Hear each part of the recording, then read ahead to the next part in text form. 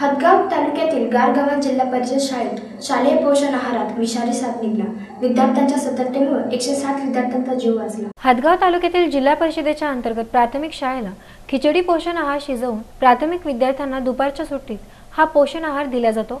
हादगाव तालुक्यातील गारगव्हाण येथील जिल्हा परिषदच्या प्राथमिक शाळेत बुधवारी रोजी खिचडी शिजवण्यात आली. त्या खिचडीत स्वयंपाकी लता कैलास सावतकर हिने काळजीपूर्वक खिचडी न केल्यामुळे तो साप तांदूळाच्या पोत्यात असावा. त्या शाळेच्या स्वयंपाकी महिलेने तसेच पोते पातेल्यात टाकून पातेल्यावर झाकण ठेवले आणि खालून त्या पातेल्याला जाळ लावण्यात आला. काही वेळाने शाळेला दुपारची सुट्टी झाली आणि सदरील किचन शेडमधून बाहेर आणून त्या स्वयंपाकी महिलेने विद्यार्थ्यास वाढण्यास सुरुवात केली. शिजलेला हा साप काही विद्यार्थ्यांच्या लक्षात आला. शाळेमध्ये सा साप निघला. कशाच्या? खिचडीचा खिचडीच्या. तू बघितला? हो. मग मग काय केलं मग त्या सापाला? सापाला लताबाईने चुलीत फेकून दिली. फेकून दिलं? तू खिचडी खाल्ली का? नाही. खिचडी काय केली मग? फेकून दिली. फेकून दिली. नंतर घरी जाऊन सांगितलं तू? हो. आज नाका खिचडीमध्ये नाका सरप निघलं. हम्म. मग लताबाई नाका चुलीमध्ये फेकून टाकले. तुम्हाला काय म्हणले? आम्हाला म्हणले अ, किडा निघले घरी जाऊन खा आणि कोणाला सांगू नका म्हणले. मग तुम्ही घरी जाऊन सांगितलं? हो. कोणाला? आई बाबाला साप निघला मग? हो. हां मग का मग आई बाबा आले का तुमच्या शाळेमध्ये? हो. मग साप पाहिला का मग तू मी मी नाही काय त्या भगवानामध्ये पाहिलं. साप पाहिला? हो. ते साप काय केला मग? ते नाही का चुलीमध्ये फेकून टाकलं. त्यांनी सदरील ही बाब स्वयंपाकी महिलेस सांगितले. त्यामुळे तिने मुलाला वाटप केलेली खिचडी वापस घेतली आणि ती सर्व खिचडी त्या महिलेने पुरावा नष्ट करण्यासाठी फेकून दिली. त्या खिचडीतील तो साप त्या महिलेने काढून पुरावा नष्ट करण्यासाठी चुलीमध्ये टाकला. ही बाब विद्यार्थ्यांना लक्षात येताच विद्यार्थ्यांनी आपल्या नातेवाईकांना आरडाओरड करून सांगितले. ते नातेवाईक शाळेकडे आले आणि त्यांनी पाणी टाकून तो साप विझवला. त्यामुळे खिचडीतील तो साप अर्धवेट जळायला मिळाला.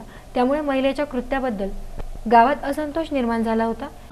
आज आमच्या गारगवान येथील जिल्हा परिषद शाळेत खिचडीमध्ये स्वरूप निघाला. त्याच्यामधून दोन तीन मुलांना वाढ झाली आणि त्याच्यातून काही मुलं थोडे सुशिक्षित होते. एक मिनिट. मा- खिचडीमध्ये. स्वरूप निघाला. स्वरूप निघ निघला. त्याच्यानंतर लताबाईने ते स्वरूप चुलीमध्ये टाकून दिला. त्याच्यामुळे ते स्वरूप आता पण आहे खिचडीमध्ये. सर्वांना गावकऱ्यांना माहीत झालेलं आहे. आणि याच्याबद्दल आम्हाला एक सांगायचं आहे की आमच्या शिक्षकाने त्या थोडंफार लक्ष ठेवावे शाळेमध्ये लताबाईनं जे खि- खिचडी केली होती हां तर त्याच्यामध्ये सिरप निघला हां तर लेकराला तिनं फेकून द्यायचं असतं. तरी तिनं लेकराला दिलं हम्म, हम्म. तर लेकराला दिलं तर लेकराला घरी जाऊन सांगू नका म्हणले हम्म, हम्म. लेकरं जर नाही सांगितले त्याने शाळेतच जर जेवण करून आले असते हम्म.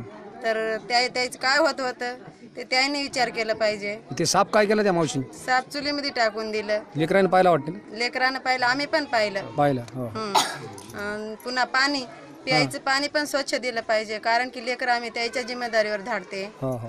तर ते पाणी पण लई घाण आहे. किडे आहे. त्याच्यामुळं लेकर रोज घरी येतात पोट दुखते म्हणते कोणी संडास लागते कुणाला उलटी होते. हे जोखमदारी खिचडी शिजवणारी बाईची असते. किंवा हेडमास्तरने पण चौकशी केली पाहिजे. तर आम्ही एवढं रिक्स घेऊ घेत गेलो पहिल्यांदा बी. पण कसं झालं? आम्हाला वाटू लागलं कारण की बाई म्हणजे आईप्रमाणे वागवते लेकरायला. तर तिनं रिक्स घेऊन काळजीपूर्वक लेकरायची काळजी घेतली पाहिजे. तर आईबापाने निश्चिंतपणे रात पाच साप निघलं तर तिने वरची खिचडी काढून बाजूला टाकली. तर खालची खिचडी वाढू लागली म्हणा. लेकराईनं म्हणले आई आम्ही खाल्लं नाही. तरी पण लताबाईनं म्हणले की घरी जाऊन सांगू नका. शाळेवर तीनशे ते चारशे महिला आणि पुरुष जमले होते. गारगावान येथे जिल्हा परिषद प्राथमिक शाळा एक ते पाच पर्यंत असून एकूण विद्यार्थी संख्या एकशे साठ आहे.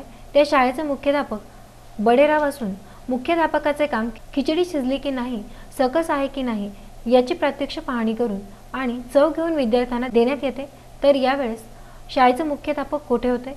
त्यांनी या आहारावर का लक्ष दिले नाही? स्वयंपाकी महिला हे जिल्हा परिषद सदस्य यांच्या कुटुंबातील असल्यामुळे त्याकडे शिक्षक आणि कर्मचारी लक्ष देण्यास टाळाटाळ करत आहेत असे प्रत्यक्ष गावकऱ्यांचे म्हणणे आहे. या अगोदर दोन ते तीन वेळेस अशाच प्रकारच्या घटना झाल्या पण तो दबाव आणून तेथेच मिटवण्यात आला. या प्रकरणाची योग्य ती चौकशी करावी अशा आशाचे गावकऱ्यांच्या वतीने निवेदन हातगाव येथील तहसीलदाराला देण्यात आले आहे. त्या निवेदनावर शंभर ते एकशे वीस पालकांनी सह्या केल्या आहेत.